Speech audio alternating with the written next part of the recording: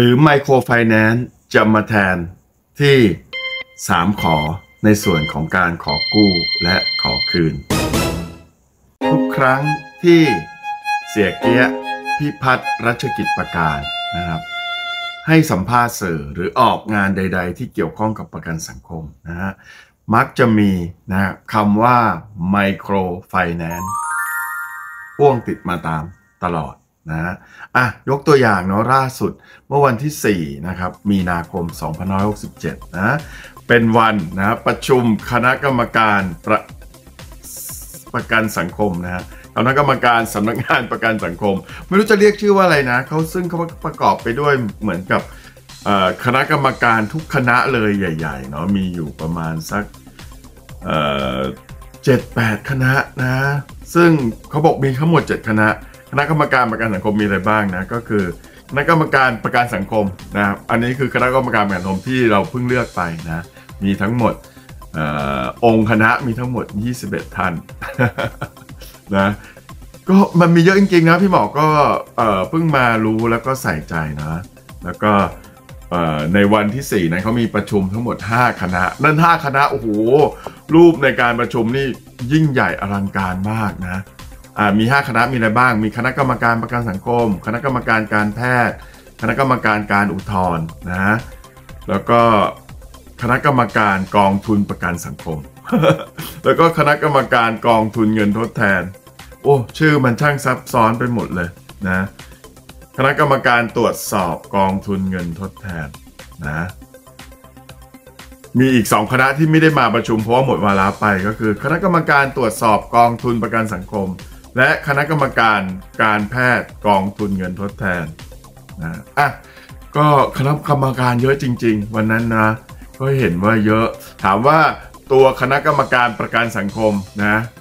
เฉยๆนะประชุมไปหรือยังนะของใหม่ย่างนะปรากฏว่าเดี๋ยวนี้เขาเปลี่ยนจากทุกๆวันอังคารเป็นวันพฤหัสแล้วมั้งนะแล้วก็ในวันนั้นก็ได้ยินข่าวว่าทาง คณะกรรมการประกันสังคม 6 ท่านของคณะก้าวหน้านะแจ้งว่าเดี๋ยวจะมีการเนาะถ่ายทอดสดเดี๋ยวพรุ่งนี้มาดูกันฮะว่ามันจะมีการถ่ายทอดสดการประชุมจริงหรือเปล่านะอะก็เป็นการเล่าข่าวคราวโดยรอบๆเนาะสิ่งที่น่าสนใจก็คือ เมื่อสัปดาห์ที่แล้ววันที่ 4 ถูกไหมฮะ มีการประชุมกันนะอะเข้ามาหัวหัวข้อเรื่องนี้ก่อนนะ เขาก็มีการพูดนะ มีการสรุปความออกมามีหลายหัวข้อหนึ่งในหัวข้อนั้นนะก็คือเรื่องของไมโครไฟแนนซ์นะเขาเป็นหนึ่งในสี่นะเรื่องของด้านด้านมีทั้งหมด 4 ด้าน อันนี้คิดว่านะตัวคุณพิพัฒน์เป็นคนอ่าน หรือว่าเป็นคนแถลงมากกว่านะ ซึ่งทั้ง 4 หัวข้อเนี่ยมีอะไรบ้างนะ ก็มีอะไรที่เราจับ ไม่ต้องได้ยากนะหรือว่าอ่านแล้วอาจจะเข้าใจได้ยากเนาะเป็นนโยบายสี่ข้อนะ คาดว่าน่าจะเป็นของอตัวคุณพิพัฒน์รัชกิจประการนะ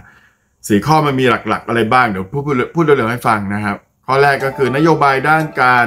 สร้างคุณภาพชีวิตที่ดีสำหรับผู้ประกันตน นโยบายที่2นะ นโยบายเชิงรุกนะเพื่อการส่งเสริมสุขภาพที่ดีสำหรับผู้ประกันตนอ่าเป็นเรื่องของสุขภาพ อันแรกก็คือคุณภาพชีวิต อันที่ 2 สุขภาพ อันที่ 3 นโยบายด้านการยกระดับงานด้านการบริการอ่าอันนี้ก็หมายถึงว่าตัวของการให้บริการของประกันสังคมนั่นเองนะเขาจะใช้ว่า best e-service นะอะสุดท้ายนะ แล้วก็ยังมีเรื่องของ telemedicine นะโอ้ยทำเหมือนเหมือนอะไรครับเหมือนบัตรทองเป๊ะเอาไปตามบัตรทองอะ tele ก็ tele นะ tele ก็คงต้องใช้คุณหมอด้วยนะอันนี้แล้วนโยบายที่4ละจ๊ะนโยบายที่ 4 คือกองทุนมั่นคงนะแรงงานมั่งคั่งนะประกันสังคมยั่งยืน ต้องบอกนะว่าตัวของออนายพิพัฒน์เนี่ยเป็นคนเจ้าบทเจ้ากร นะอะไม่เป็นไรนะก็ดีนะก็ก็ไพเราะอะกลับมาที่ข้อแรกนะ ในเรื่องของไมโครไฟแนนซ์นะไมโครไฟแนนซ์ก็คือเอ่อนโยบายด้านการส่งเสริมคุณภาพชีวิตที่ดีสำหรับผู้ประกันตน การปรับปรุงและพัฒนากฎหมายให้มีความเหมาะสมกับบริบท เศรษฐกิจและสังคมของประเทศ มีมาตรมีมาตรฐานสากลพร้อมพัฒนาและยกระดับสิทธิการรักษา รวมถึงสวัสดิการแรงงานด้านประกันสังคม มีความทันสมัย และตอบสนองความต้องการของผู้ประกันตน ผ่านโครงการไมโครไฟแนนซ์ลดหนี้เติมทุนสร้างสุขแรงงานนะเชื่อว่านะสิ่งที่ข้อนี้นะหนึ่งในสี่นโยบายนะก็คือเรื่องของคุณภาพชีวิต นะข้อแรกเลยนะเป็นนโยบายสำคัญข้อแรกของรัฐมนตรีท่านนี้ท่านมาแถลงในวันนี้นะเรื่องของไมโครไฟแนนซ์นะเอ๊ะทำไมอยู่ดีๆ ถึงมาพูดเรื่องนี้ ต้องตอบว่ามันคือเรื่องอะไรครับเรื่องของการเมืองนั่นเองนะสามขอใช่ไหมฮะ มันเกิดขึ้นในยุคนะในช่วงของท่านรัฐมนตรีนะ ท่านเดิมก็คือคุณสุชาติชมกลิ่นเนาะ เขาเขาเสนอไหมเสนอนะแต่อาจจะตกนะในชั้นของคอรมอหรือเปล่า เพราะตอนนี้เนี่ยมันเลยชั้นของออประกันสังคมกระทรวงแรงงานไปแล้ว แต่บอร์ดใหม่ที่จะประชุมในวันพรุ่งนี้นะวันนี้วันที่ 7 พรุ่งนี้วันที่ 8 มีนาถูกไหมนะพรุ่งนี้วันที่ 8 มีนานะนะก็ดูสิครับว่าวันที่ 8 มีนาจะมีการคุยเรื่องการขอเลือกขอคืนขอกู้ 3 ขอใน บอร์ดนะคณะกรรมการประกันสังคมชุดนะเลือกตั้ง 14 คนนะจากแต่งตั้งของรัฐบาลอีกฝ่ายหนึ่งรวมเป็น 21 คนหรือเปล่านะมันจะมีการพูดเรื่องนี้หรือเปล่า เพราะว่าตัวร่างพระราชพระราชบัญญัติประกันสังคมเนี่ยฉบับฉบับนะฉบับเดิมจะเป็นยังไงนะ มันมีมาคำว่าไมโครไฟแนนซ์มา เพราะฉะนั้นเชื่อว่า ถ้ารัฐบาลชุดนี้เขาจะผลักดันนะ หมายถึงว่าตัวรัฐมนตรีท่านนี้จะผลักดันเขาคงจะผลักดันไมโครไฟแนนซ์ถามว่าพี่หมอเห็นด้วยไหมเห็นด้วย yes. เพราะว่าการทำไมโครไฟแนนซ์คือการที่ประกันสังคมทำธุรกิจเองนะทำทำกิจกรรมนะทำเรื่องของการปล่อยให้กู้เล็กๆนะนิยามของไมโครไฟแนนซ์ก็คือการเนาะการให้สินเชื่อ การการที่ นะธุรกิจที่ทำไมโครไฟแนนซ์ก็คือรับฝากรับถอนรับโอนนะรับเรื่องต่างๆ ขายประกงขายประกัน ในขนาดย่อมๆ ตามนิยามของไมโคร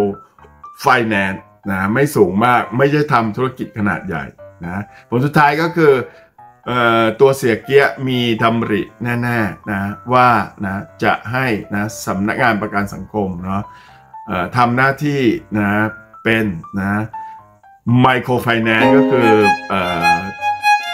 ธุรกิจนะการเงินนะการธนาคารขนาดย่อมย่อม เรามาดูกันครับว่าไมโครไฟแนนซ์จะเกิดขึ้นจริงหรือไม่